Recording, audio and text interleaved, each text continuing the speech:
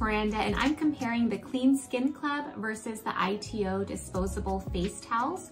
So both of these are around the same price point, um, but this one comes with 80 and this one comes with 50 towels. So that's something to note.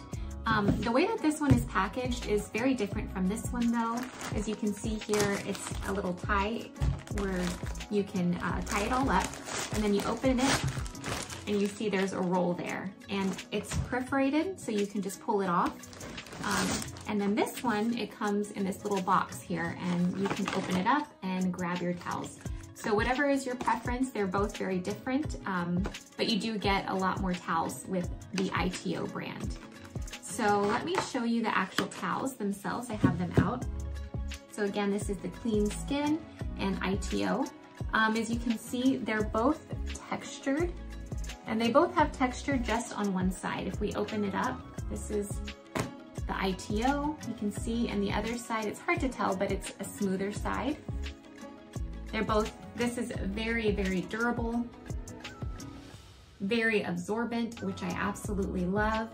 And um, the reason why I wanna use these instead of your regular towel is that it's just so much more hygienic. hygienic.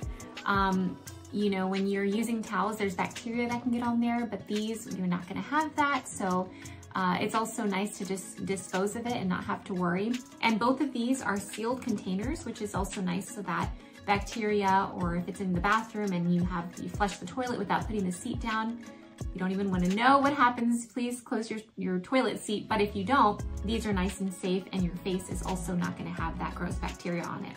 So let's look at this one now. You see the uh, texture and I'll open it up. This is the extra large, so it's going to be a, a, little bit bigger, but the other side is also smooth. Um, and again, they're both very durable and nice.